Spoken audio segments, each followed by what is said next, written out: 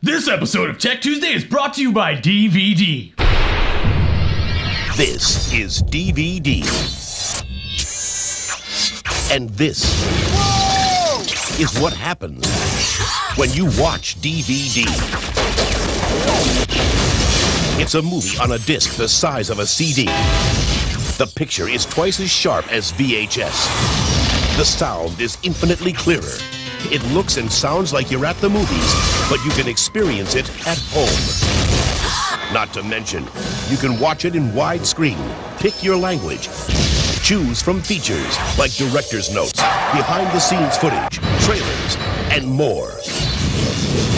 Watch a movie right on your computer.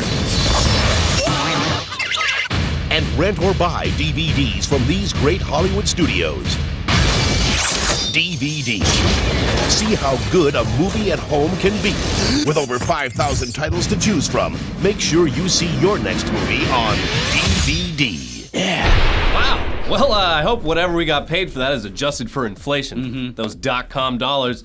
So that's an ad from the year 2000 for the hot new DVD format, and uh, you know it sure features a lot of explosions, which are certainly fun to see and hear in a high-res new video format. But they're a lot less fun when they're actually happening to you or your handheld mobile device that sits inches away from your reproductive organs for most of the day. Let's talk about phones. So for the past week, Apple has been dealing with backlash over them having the courage to get rid of the headphone jack, forcing iPhone users to walk around with a pocket full of dongles, uh, such as this $40 Belkin dongle that you'll need if you have the audacity to want to actually charge your phone while listening to music. Uh, a dongle which you'll have to actually connect to a second dongle if your headphone uses a standard jack and not Apple's proprietary lightning connector. But hey, at least their phones aren't ticking time bombs, leaving a path of destruction in their wake which is something that their biggest competitor on the hardware side of things, Samsung, can't. They can't say that right now. Nope. No, they can't really say anything. So as we told you last week, Samsung has issued a recall for the recently released Galaxy Note 7 because the damn things just keep spontaneously exploding. Whoops. And since then, even more horrifying reports of exploding phones have surfaced, and it's starting to become pretty clear that Samsung should have probably been doing a lot more to address this issue, and a lot sooner. Back on September 2nd, Samsung responded to the fact that there had already been at least 35 cases of phones exploding during charging by stopping sales of the Note 7 and offering to replace any phones that they'd already sold. But was that enough?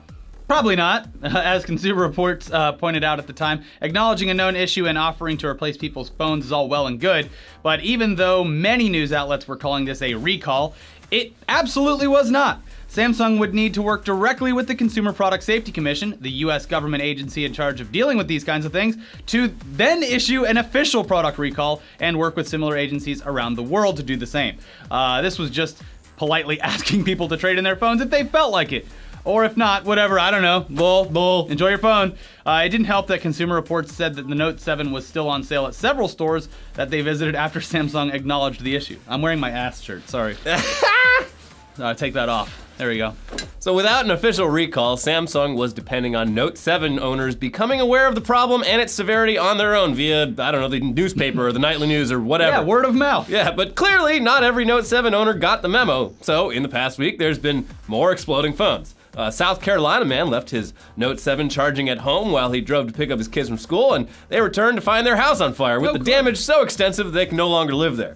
Uh, over in Florida, a Florida man left his Note 7 charging in the center console of his Jeep while unloading some purchases, and uh, he came back out of the house to find that the phone had exploded and engulfed his prized vehicle in flames. Another Note 7 horror story came out around the same time over in Australia, where a businessman staying in a hotel plugged his Note 7 into the official charging cable and wall charger, went to bed, and awoke to popping and hissing sounds early the next morning, with his exploding Note 7 causing $1,800 reduce in damage to his hotel room.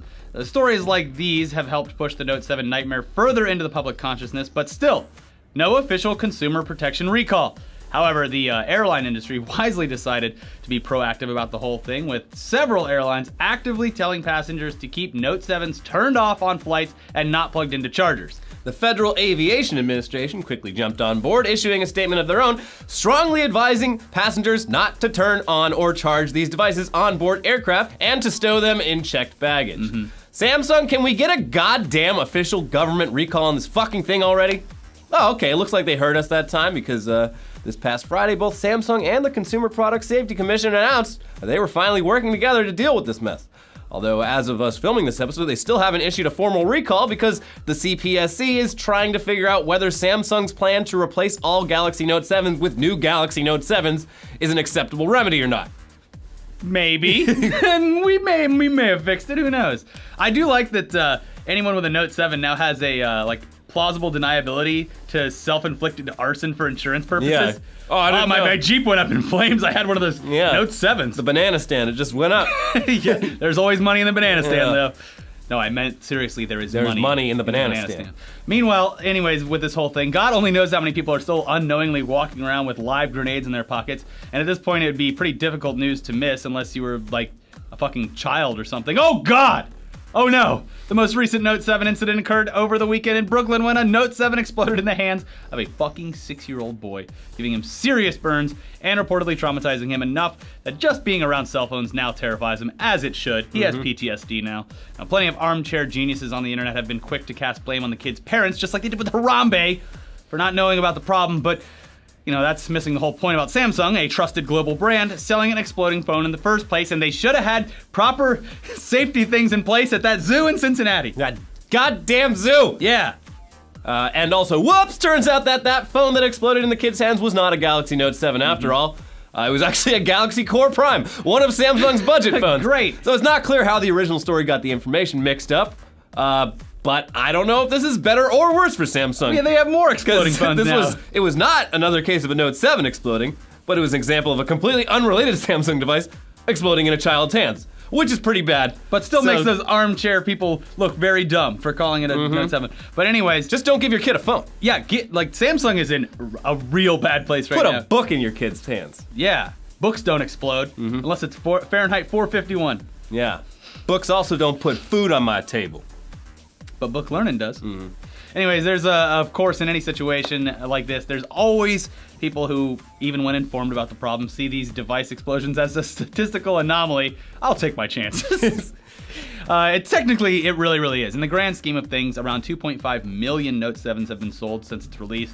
So the 100 or so worldwide examples of catastrophic overheating only accounts for a fraction of a percent. But at this point, Samsung isn't even going to let the holdouts live on the wild side with rumored plans to limit battery capacity to 60% with its next software update and possibly even simply kill the devices with another update. Sorry, your phone only has half the battery capacity now because it's too dangerous. Yeah, I mean that that actually like inconveniencing people is Even worse. it's it's it's actually much more effective than saying, "Hey, it might blow up." If you can only charge your phone to like 60%, like, "Ah, fine. Fine." Fine, I'll turn it back in. Yeah. Every Samsung Note 7 owner is now like the guy who sits on his porch as the wildfire takes over his neighborhood. I'm not, I've been here for 50 Mm-hmm. Yeah. years, and I will shoot this fire if it comes to my door. I don't care what big government says. Asbestos is a great insulation. Uh, uh, what is, what is asbestos? It's Anyway, insulation. It's great. It works great. Yeah, it's it it's a flame retardant, but Yeah, I'll take it also my gives you chances. cancer. I'll take my chances. Anyways. so Samsung's stock has uh, unsurprisingly seen one hell of a dip. Even more than Pokemon Go. The company's overall value went down by around 11% from closing time Friday to opening time Monday. It's the biggest day-to-day stock dip in the company's history. It's bounced back a bit since then, but Samsung's current value is between 10 and 20 billion dollars less than it was before this all started, and this whole debacle will probably haunt Samsung for at least the near future, especially in terms of public perception. Mm, It's like those damn Priuses that got the gas pedal stuck. I don't know. Unless, of course, you're just, you know, one of those guys that likes to live on the edge. You ride around on your explosive hoverboard, puffing away at uh, your custom built exploding vape pen while you charge your new exploding Note 7 with an exploding portable battery you bought on Alibaba with a gas station USB cable from China. I like to live on the edge. Mm-hmm. Only God can take. Anyway, speaking of dangerous new technology, if you're one of those people that just wants to watch the world burn, and you also have $50 burning a hole in your wallet, the USB killer is for you. So, what does this USB killer do? Well, despite looking like an innocuous USB thumb drive, the USB killer will totally and permanently render useless just about any computer, TV, printer, router, charger, or whatever that you plug it into by instantly sucking the electricity out of the port and then shooting it right back in. That's pretty damn evil, but the makers of this device have created the USB killer essentially just to prove a point. So it was designed by a cybersecurity group uh, over in Hong Kong who, for years, have been frustrated that nearly every device in existence that features a USB port is vulnerable to a power surge that can completely fry the device. Mm-hmm. A year ago, they publicly raised the concerns and outlined exactly how a theoretical USB killer would work.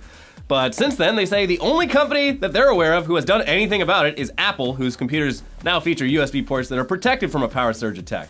So now, good guy Apple. yeah, good guy Apple. They also planted this Samsung story. Mm-hmm.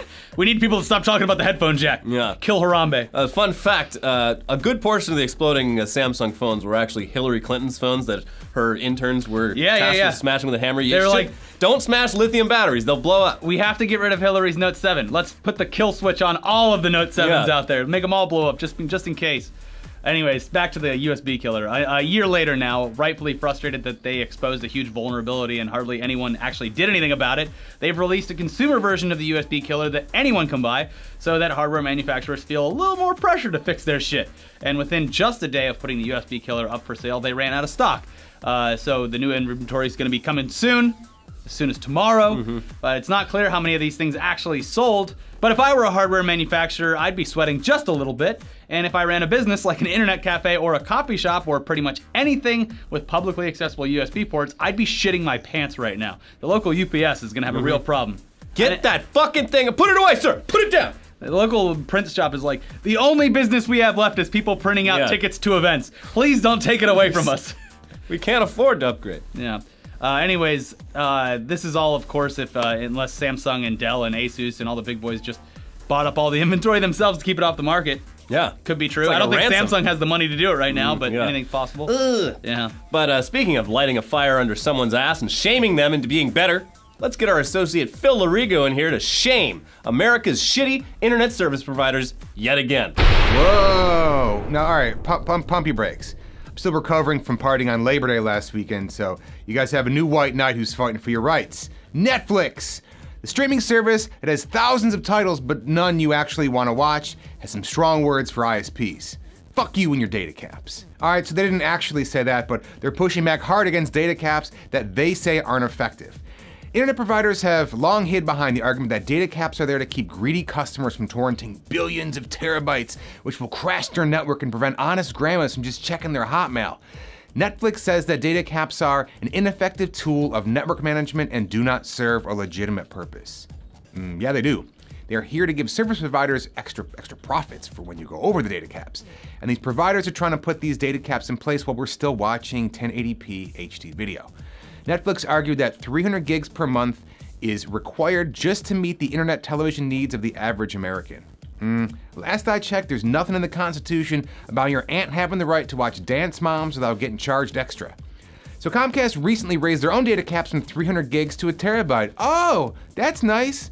But if you do the math behind streaming 4K video in the future, it's probably going to cost some overages if you watch as much 4K Netflix as you do in regular old HD Netflix now.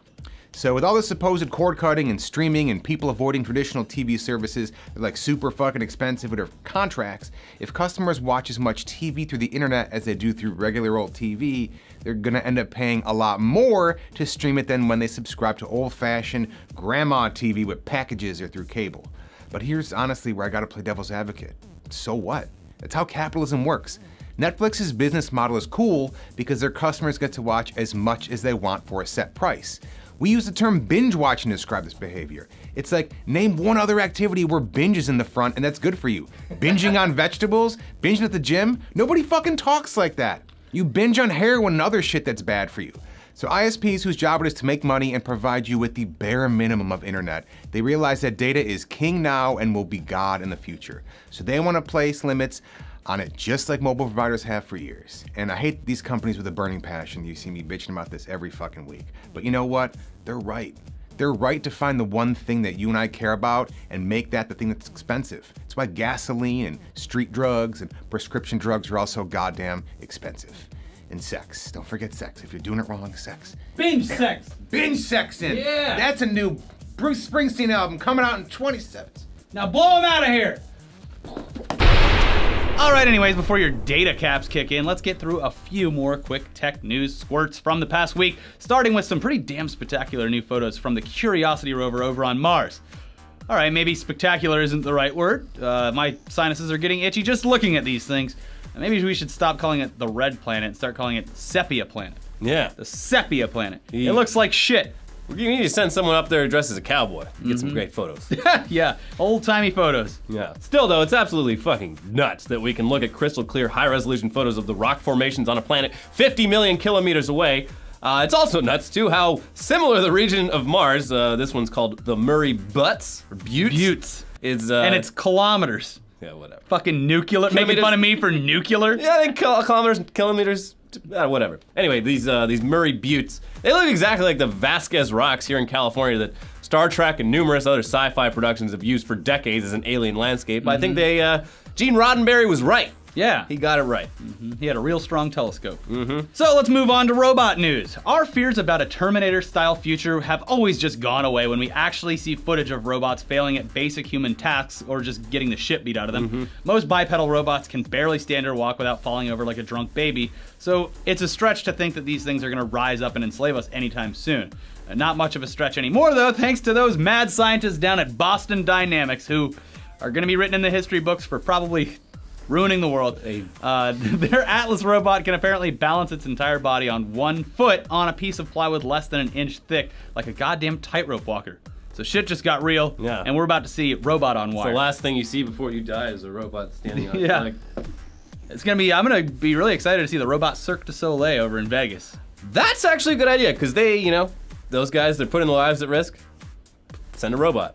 I guess it would be more bo- boring. You're not watching Death Defiance anymore. I would go to the robot circus. You went to that uh, robot. No, I went to the cat circus. No, there's a robot one in uh, uh, Tokyo, right? Oh, I mean, not really. Well, there's people dressed up like robots, but imagine once they get real robots in there. They weren't doing stunts either. They were just driving around in a room with motors on in Yeah. an enclosed space and probably killing But everyone. think of what they can do in five or ten years. Sure, whatever. It's fine. Anyway, speaking of shit getting real, very odd feud developed last week between Facebook and the nation of Norway over a photo of a Vietnamese child. Mm-hmm. A naked Vietnamese child. But not just any naked Vietnamese child. We're talking about Phan Thi Kim Phuc, who was photographed in 1972 at nine years old, running from a South Vietnamese napalm attack that had been mistakenly dropped on civilians and South Vietnamese soldiers and had given her extensive burning all over her body. Mm-hmm. The photo, taken by AP photographer Nick Ut and titled The Terror of War, won a Pulitzer Prize and remains to this day one of the most well known and haunting images of how shitty war can be.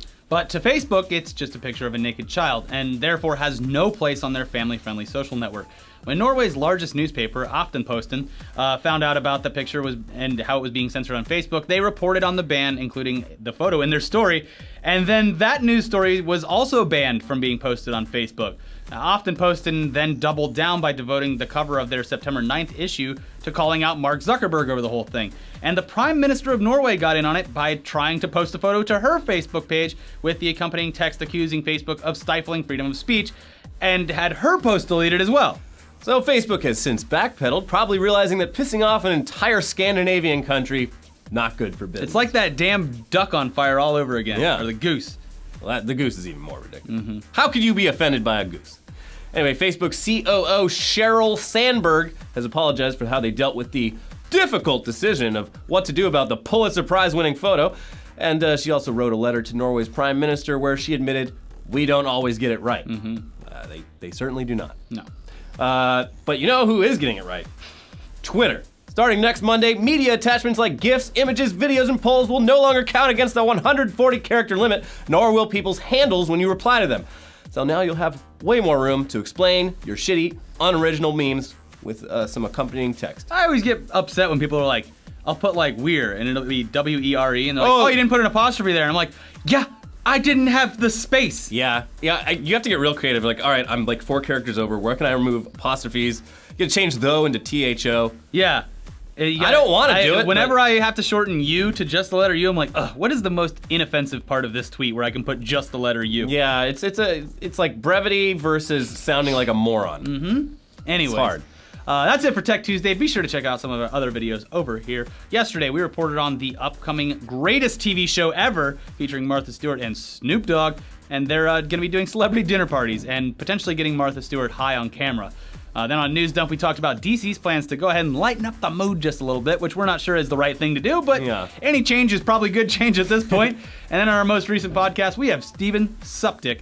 Uh, I said it right that time, I think. Yeah. Uh, he joined us to read some incredibly graphic erotic fan fiction, and uh, then we did a little fan fiction of our own to Rick and Morty. So, yeah, there we go. Anyways, guys, uh, now another word from our sponsor. Oh no! The question is have you seen it? Have you heard it? Have you felt it? DVD. It's a movie on a disc the size of a CD. The picture is twice as sharp as VHS. The sound is so incredibly clear you can hear a pin drop. It looks and sounds like you're at the movies, but you can experience it at home. And let's not forget, you can watch it in widescreen, hear it in different languages, choose from features like director's notes, behind the scenes footage, trailers, and more. Even watch a movie right on your computer. And rent or buy thousands of DVD titles available from these great Hollywood studios. And you can pick up a DVD player for under $200. DVD. See it. Hear it. Feel it. DVD.